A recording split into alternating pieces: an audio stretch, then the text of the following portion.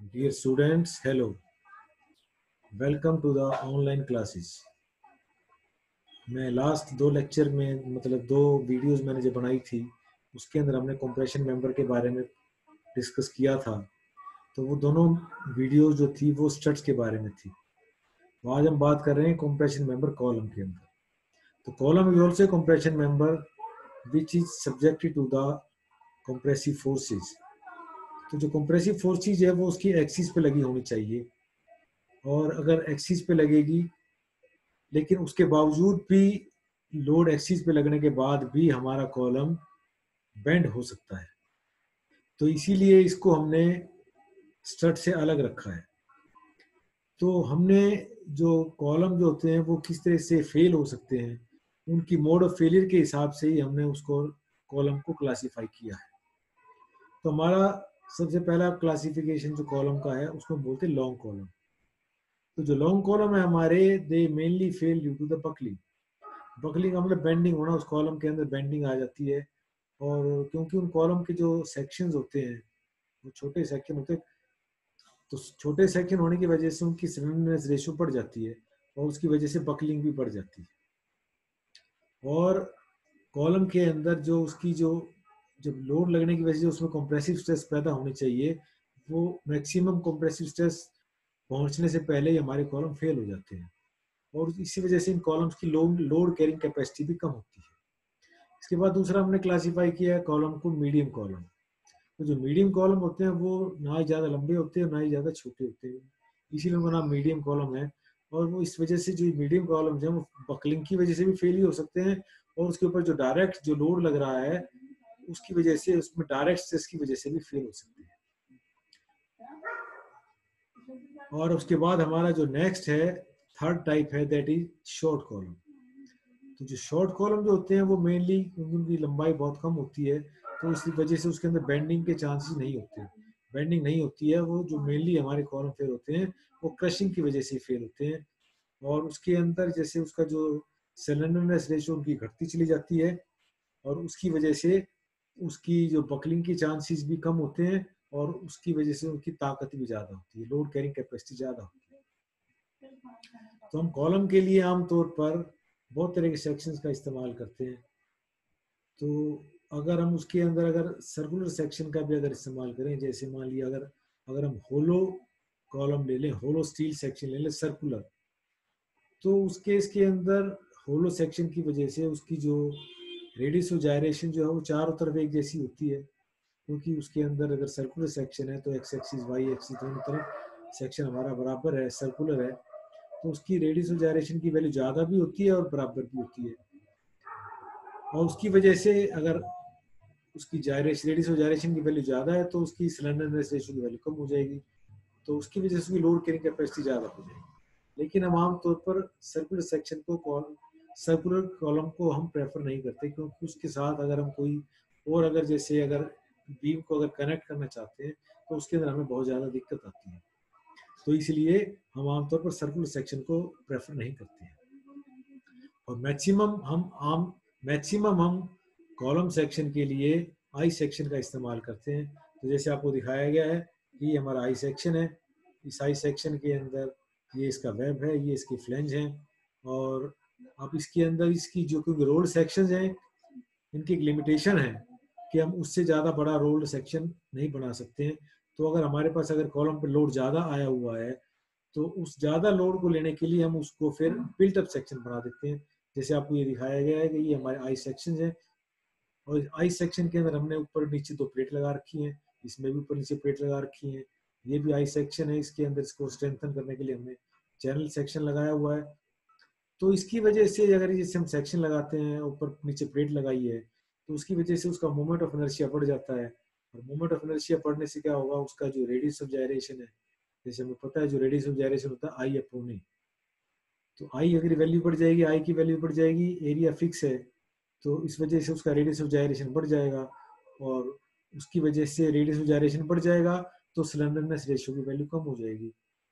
तो इसकी वजह से उसकी जो सिग्मा ए सी की वैल्यू है, क्योंकि जितनी उसकी सिलेंडरनेस रेशियो की वैल्यू कम होगी, उतनी ही उसकी सिग्मा ए सी की वैल्यू ज़्यादा होगी।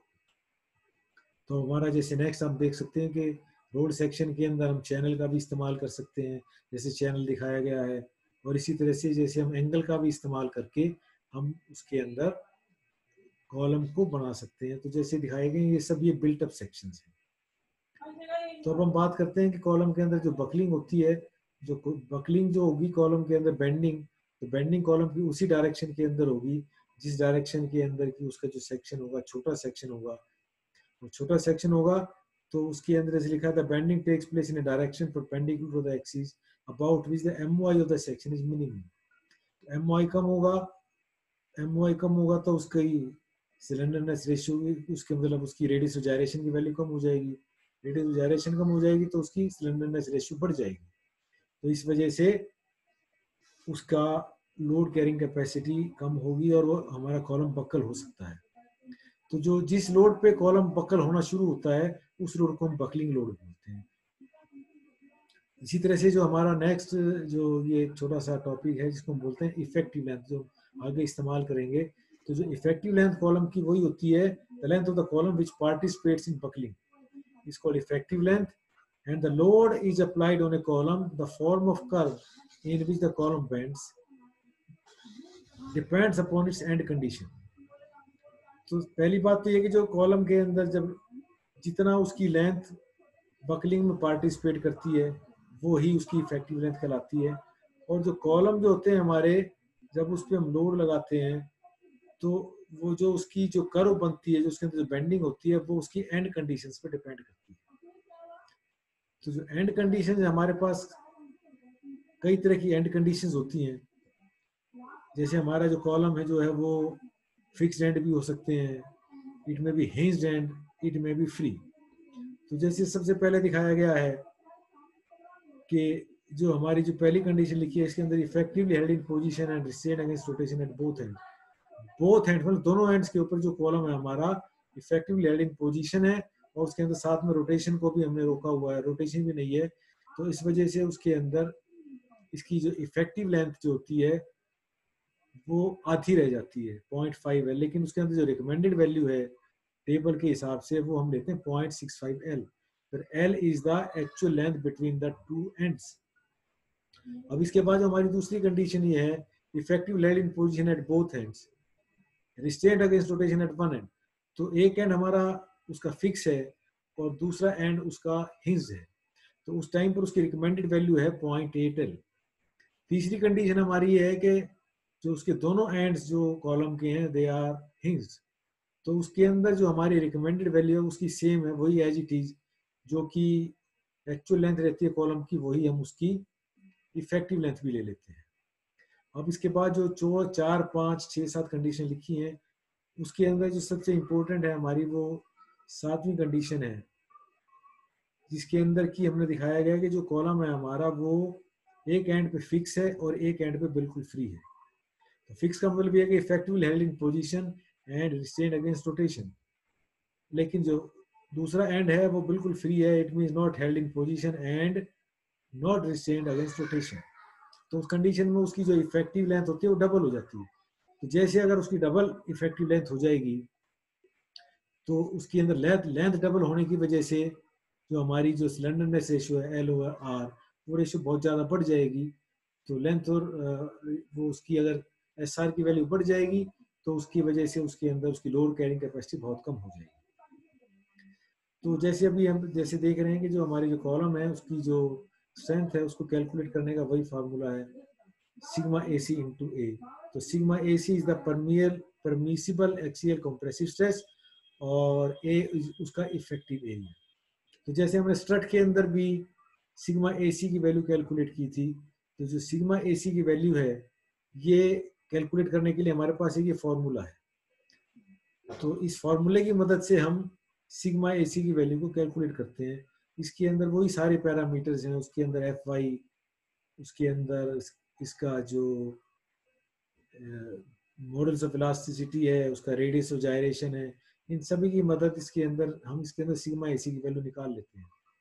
लेकिन इसके अंदर जो हमारी जो सील टेबल है या जो कोड है उनके मदद के लिए कि बार बार ये कैलकुलेट ना करना पड़े, हमें एक टेबल दी हुई है जिसके अंदर की, जैसे आप देख सकते हैं, इस टेबल के अंदर हम इसके अंदर जो ये एफ़ वाई हमारा जो ये है 250 जो स्टील की से हम आमतौर पर लेते हैं 250 के कॉरस्पॉन्डिंगली और इसके अंदर ये हमारी सिलेंडरनेस रेशियो है।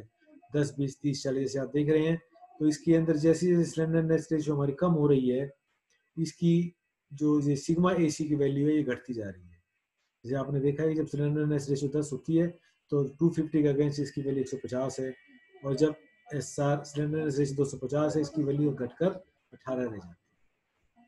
तो हमें इस, इन टेबल की मदद से हम, जैसे मान लिया हमारी सिलेंडरनेस रेशियो की वैल्यू मान ली अगर आई है 45 तो हम इसके अंदर 40 और 50 दो वैल्यू लेकर, जैसे 40 के अगेंस्ट वैल्यू है एक सौ उनतालीस और 50 के अगेंस्ट वैल्यू है हमारी एक तो इन दोनों के बीच में उसको इंटरपोलेट करके हम उसकी सिग्मा एसी की वैल्यू को कैलकुलेट कर लेते हैं। तो अब नेक्स्ट हमारा टॉपिक ये है कि जैसे हमने स्टट को डिज़ाइन किया था, उसी तरह से ही हम, अगर हमें कॉलम को डिज़ाइन करना पड़े डिज़ाइन का मतलब ये है कि हमें उस मेंबर के ऊपर जैसे दिखाया गया है कि जो उसको कितना लोड कैरी करना है, उसकी लेंथ कितनी है और उसकी एंड कंडीशंस क्या है, वो सब हमें पता है। तो उन सभी कंडीशंस के बाद हम हमें ये पता है लोड कितना लगा है तो हमें किस तरह का सेक्शन कॉलम को डिज़ाइन करना है तो वो उसके लिए ये स्टेप्स आपको बताए गए तो जैसे हमारा सबसे पहला स्टेप ये होता है कि हमें ये निकालना है कि जो कॉलम जो हम यूज़ करेंगे, उसका ग्रॉस सेक्शनल एरिया कितना होगा। तो जो निकालने के लिए हमारे पास स्टेप ये है कि उसका जो लोड जितना लगा है, उसके ऊपर एज्यूम परमिसिबल कॉम्प्रेसिव स्ट्रेस से हम डिवाइड कर देते हैं। तो जैसे अगर हमारा अगर आई सेक्शन अगर सिंगल है अगर तो उसको 80 से डिवाइड करते हैं। और अगर मान लिया अगर हमें बिल्टअप सेक्शन बनाना है तो बिल्टअप सेक्शन के अंदर हम उसकी तो ताकत को थोड़ा ज़्यादा मानते हैं तो उसको हम हंड्रेड से डिवाइड करते हैं। तो जो हमारा एरिया आ जाता है, उस एरिया के हिसाब से फिर हम उस सेक्शन को ट्रायल सेक्शन उसका स्टील टेबल से चूज़ करते हैं। चूज़ करने के बाद फिर जो चूज़ किया हुआ सेक्शन है हमारा चूज़ करने का मतलब ये है कि जो सेक्शन आपने चूज़ किया है, वो जो एरिया आया था, उससे ज़्यादा उसका एरिया होना चाहिए। फिर उसके बाद जो चूज़ किया हमने सेक्शन उस सेक्शन का हम जो हमें इफ़ेक्टिव लेंथ उसकी एंड कंडीशन हम कैलकुलेट कर लेते हैं और फिर उसकी सिलेंडरनेस रेशियो कैलकुलेट करते हैं एल और आर आर हमें उस सेक्शन का जो स्टील टेबल से मिल जाएगा, जो हमने चूज़ किया था एल हमें पता है और उसकी सिलेंडरनेस रेशियो कैलकुलेट कर लेते हैं। अब उसको कैलकुलेट करने के बाद फिर हम क्या करते हैं? हमारा नेक्स्ट स्टेप ये है कि जो हमारी सिलेंडरनेस रेशियो आई है, इस सिलेंडरनेस रेशियो के हिसाब से उसके अंदर एक्चुअल परमिसिबल कॉम्प्रेसिव स्ट्रेस कितनी है?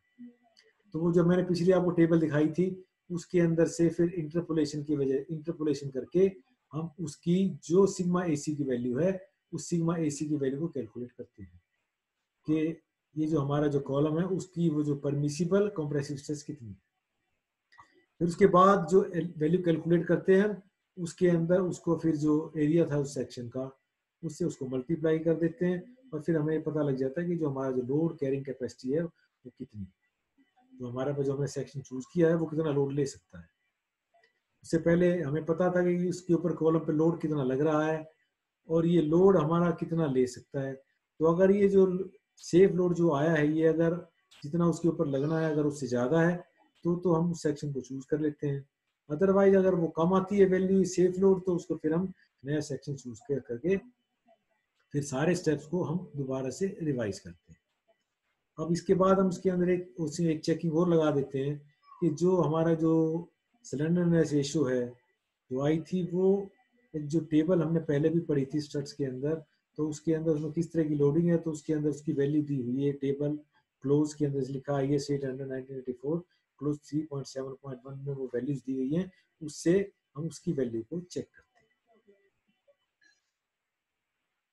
तो अब हम इस नए, इस वीडियो के अंदर एक नया, एक और एक्सपेरिमेंट करने जा रहे हैं। हम इसके अंदर दो न्यूमेरिकल्स भी आपको बता रहे हैं कि भाई जो न्यूमेरिकल्स कैसे इसके अंदर में सॉल्व करना है। तो जैसे आपको दिया गया है कि एक आई एस एम बी है हमारे पास senior standard medium M three fifty उसकी लोड कैरिंग कैपेसिटी कितनी होगी? जबकि जो कॉलम की जो हाइट है वो चार मीटर है। And is effectively held in position at both ends, but not restrained against rotation. तो इसका मतलब इससे हमें पता लग जाएगा कि जो कॉलम है हमारा, वो उसकी एंड कंडीशन क्या है। तो जैसे इसमें लिखा है कि effectively held in position but not restrained against rotation तो इसका मतलब ये है कि जो कॉलम है हमारा, वो हिंज है। और इसके अंदर एफ़ की वैल्यू दी हुई है आपको 250 मेगा पास्कल 250 मेगा पास्कल मतलब 250 न्यूटन पर एम स्क्वायर तो इसके अंदर, जैसे इसके अंदर ये सॉल्यूशन दिखाया गया है कि इसके अंदर जैसे हमने ये I S M B three fifty लिया तो इसके अंदर हमने इसके अंदर इस स्टील टेबल से इसकी सारी प्रॉपर्टीज़ इसका एरिया कितना है, इसका रेडियस जायरेशन कितना आर एक्स कितना है आर वाई वाई कितना है, वो हमने इसके अंदर स्टील टेबल से नोट कर लिया। और नोट करने के बाद इसमें हमने देखा कि इसकी जो लीस्ट वैल्यू है आर एक्स एक्स जो है, वो एक सौ बयालीस पॉइंट नौ एम एम है और आर वाई वाई जो है twenty eight point four M M है। इसमें R Y Y minimum twenty eight point four तो हमने इस सेक्शन की रेशियो कैलकुलेट की। तो अब इसके अंदर जैसे आपको पता है कि जो सेक्शन हमारा था, वो उसकी जो दोनों एंड से वो हिंस से तो इसलिए इसके अंदर हमने जो इफ़ेक्टिव लेंथ लिया, वो सेम एज इट जो चार मीटर थी, चार हज़ार एम एम और उसको आर मिनिमम से डिवाइड करते हैं तो हमारी सिलेंडरनेस रेशियो आ गई एक सौ चालीस पॉइंट एट फाइव तो हमने इस चालीस, एक सौ चालीस पॉइंट एट फाइव के लिए जो आपको पिछले जो टेबल दिखाई थी उस टेबल से हमने क्या किया इसके अंदर? अब जैसे जो ये एक सौ चालीस एफ़ आई दो सौ पचास लेकर इसके अंदर हमने जो स्टील टेबल थी जो, उसके अंदर से 150 और 140 के बीच में इसको हमने इसे इंटरपोलेट किया, जैसे आपको दिखाया जा रहा है। तो हमें 140.8 पॉइंट्स की वैल्यू चाहिए। तो जैसे हमने दिखाया कि 140 जब इसकी स्ट्रेस है 140 जब मतलब सिलेंडर रेशियो वैल्यू है तो सीमा इसी की वैल्यू इक्यावन होती है, और जब 150 है तो इसकी वैल्यू है 45 तो जैसे 51 मतलब कम हो जाएगी वैल्यू 140 की। तो हमने क्या किया, इसको ऐसे इंटरपोलेट किया, इक्यावन माइनस पैंतालीस divided by this stress multiplied by the difference तो हमारे पास लगभग लगभग 140 की वैल्यू जितनी थी 140 की वैल्यू जैसे हमारे पास थी 51 तो ये 140 के लगभग ही है। थोड़ा सा ज़्यादा पॉइंट एट फाइव तो इसकी वैल्यू हमारे पास पचास पॉइंट फोर नाइन न्यूटन पर एम स्क्र सिग्मा ए की वैल्यू आ गई। तो इसकी लोड कैरिंग कैपेसिटी हमने निकाल दी सिग्मा ए सी को हमने जो एरिया जैसे यहाँ पर लिया था ये sixty six seventy one M M square इससे इसको गुना कर दिया तो हमारे पास लोड आ गया। कि हमारा ये कॉलम इतना लोड लगा सकते इस पर हम लगा सकते हैं। तो हमने इसको किलोमीटर में कन्वर्ट कर लिया, तीन सौ छत्तीस पॉइंट आठ। तो इस तरह के हमारे पास सवाल हैं कि कोई भी सेक्शन आपको दे रखा है तो जैसे हमारे पास ये सिंपल रोड सेक्शन था तो हमने इसकी वैल्यू को डायरेक्ट वैल्यू हमें स्टील टेबल से मिल गई। लेकिन अगर हमारे पास अगर ये वैल्यू अगर रोड ना हो, अगर बिल्टअप सेक्शन हो तो फिर हमें उसके लिए उस सेक्शन की आई एक्स एक्स और आई वाई वाई हम कैलकुलेट करेंगे। तो उनकी मदद से हम इसकी R Y Y R X X और आर वाई वाई की वैल्यू कैलकुलेट करेंगे। आई अपोन ए करके अंडर आई अपोन ए और फिर उसके बाद हमें इसकी वैल्यू मिल जाएगी R X X R Y Y की और फिर इस तरह से, फिर इसकी जो मिनिमम लेकर कैलकुलेट करेंगे। अब हमारे इसके अंदर दूसरा टाइप है सवाल का कि जिसके अंदर हमें डिज़ाइन करना है, कि कॉलम एक डिज़ाइन करना है। ये तो सवाल दिखाया मैंने आपको, ये पिछला सवाल था। अभी हमारा इसलिए इसका सोल्यूशन है। अभी हमारा ये तीसरा, दूसरा नेक्स्ट सवाल है कि design a suitable section for steel column 3.75 meter long, carrying an axial load of 480 kilonewton. तो उसमें 480 किलोन्यूटन का लोड लगा है। The column is effectively held in position and stain against rotation at both ends it means जो column है हमारा, इससे हमें पता लगेगा कि जो कॉलम है हमारा it is fix at both ends तो इसके ऊपर ये जो आपको स्ट्रेस बताई गई है इसके ऊपर 80 मेगापिक्सल मेगा की हम सेव कंप्रेसिव स्ट्रेस ले सकते हैं और इसकी जो कॉलम की यील्ड स्ट्रेस है वो 250 मेगा पास्कल है मेगा पास्कल मतलब सेम वही होता है 18 न्यूटन पर एम एम स्केयर अगर एम पी ए में लिखते हैं तो 80 एम पी ए या अगर न्यूटन एम एम स्केयर में लिखें तो वो इतनी वैल्यू होती है। तो इसके जैसे ये सॉल्यूशन दिखाया गया है कि ये लोड लगा है। ये सब आपको दिखाया गया है। तो जैसे हमारा सबसे पहला काम ये है कि इसके अंदर निकालना कि जो उस कॉलम की इफ़ेक्टिव लेंथ कितनी रहेगी। तो जो बोथ हैंड्स फिक्स थे तो उसमें हमने जो हमारा फैक्टर था पॉइंट एट सिक्स फाइव से गुना कर दिया। हमारे पास इसकी length I two point four four M M मतलब चौबीस से चालीस एम एम अब हम ये निकालेंगे कि जो इसके सेक्शन के जो हमारा पहला स्टेप था, कि कितना ग्रॉस एरिया हमें इसके लिए चाहिए। तो ग्रॉस एरिया निकालने के लिए आपको लोड दे रखा है, ये दे रखा है आपको तो इस पे लगा हुआ फोर एटी किलो न्यूटन। तो फोर एटी किलो न्यूटन को हज़ार से गुना कर दिया, न्यूटन बन गए, और उसको हमने सेफ़ स्ट्रेस अस्सी से डिवाइड कर दिया तो हमें चाहिए लगभग छः हज़ार एम एम स्केयर मतलब सिक्सटी सेंटीमीटर स्केयर का हमारे पास कॉलम सेक्शन का एरिया होना चाहिए। तो अब हम सील टेबल से कोई ऐसा सेक्शन चूज़ करेंगे आई सेक्शन चूज़ करेंगे, जिसका की एरिया लगभग साठ सेंटीमीटर के स्केयर के बराबर हो। क्योंकि सील टेबल में जो एरिया है वो सेंटीमीटर स्केयर में दिए हैं तो इसीलिए हमने इसको सेंटीमीटर स्केयर में कन्वर्ट कर दिया। तो जैसे हमने सील टेबल से ढूंढा तो उसके अंदर हमें एक ही सेक्शन मिला I S H B two fifty at the rate of fifty five hundred point three newton पर मीटर तो इसकी वैल्यू हमें पता लगी इसका एरिया जो है लगभग चौसठ पॉइंट छियानवे एम एम सेंटीमीटर स्केयर है। क्योंकि स्टील टेबल में हमें एग्जैक्ट साठ का तो कोई सेक्शन मिलेगा नहीं। तो हमने उसे थोड़ा सा बड़ा सेक्शन चूज़ किया। कम नहीं सेक्शन चूज़ करना है, बड़ा सेक्शन चूज़ करना है। तो हमने सेक्शन चूज़ किया चौसठ सौ छियानवे एम एम स्केयर तो हमने इसकी बाकी सभी प्रॉपर्टीज़ इसका आर एक्सेस कितना है आर वाई वाई कितना है। तो जैसे आपने देखा, इसका आर वाई वाई है चौवन point fifty four point no M तो ये लिस्ट वैल्यू है। तो हमने ये लिस्ट वैल्यू ले ली।